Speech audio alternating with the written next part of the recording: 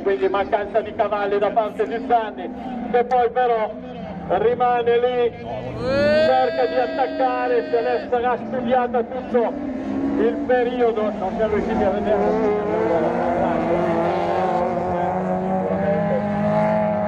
studiato un attimo, visto che l'epilogo è sempre stato lo stesso, che sia forte di niente da dire, che la macchina sia anche un pelo più performante, ok, però potrebbe anche capitare la manche in cui va tutto dritto a Zanicek e magari non tutto al 100% oppure una strategia che consenta al pilota italiano di riuscire a colmare quel piccolissimo gap che a fine gara si ritrova sempre a dover pagare. Ricordo che in seconda hit ha perso per 7 decimi sul traguardo, nella terza ha perso per 3 decimi, adesso è staccato di 6 decimi, intanto Pasquale Del Pino tira dritto va a farsi il suo Joker Lap, Spoletta.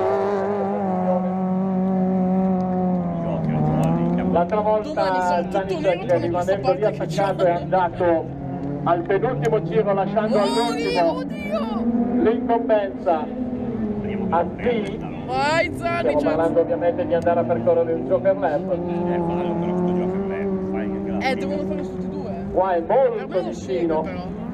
Dovrebbe riuscire per dire a fare un Joker Lap spettacoloso. Vediamo se lo fa adesso, probabilmente sì, così infatti si butta dentro, deve cercare di ottenere il massimo da questo Joker Lap, non avere un grande distacco, era sceso a tre decimi, adesso il giro della vita, adesso qua Mirko deve tirare fuori cercare di sparare tutte le cartucce possibili immaginabili, non sbagliare neanche una curva. Girare strettissimo come sta facendo e dare gas, dare gas, dare gas perché adesso toccherà a Z andare nell'ultimo giro a farsi il Joker. C'è il margine, diciamo che il giro precedente aveva soltanto 3 decimi di distacco, adesso saranno almeno 3 secondi e mezzo. Attenzione, attenzione! Andiamolo a vedere subito quant'è. 2 secondi e 5 potrebbe farcela, quasi quasi vai, vai, vai, vai, vai, vai, vai, vai! Milton Fanni, sì,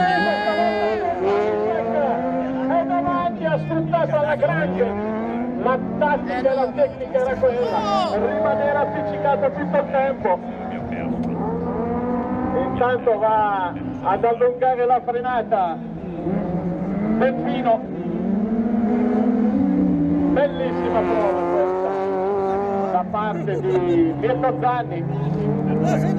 Davanti al leader assoluto di questa categoria nelle Super 1006 nel campionato europeo 100 quindi questa è dopo tre prove è una grandissima vittoria di Mirko Zanni. Bravo. Complimenti veramente una prova strepitosa. Dell'ungherese, ma lui guida benissimo, tanto quanto ovviamente Zisi. Questa volta la tattica are you ready for the bass? My DJ, yo, get on the case.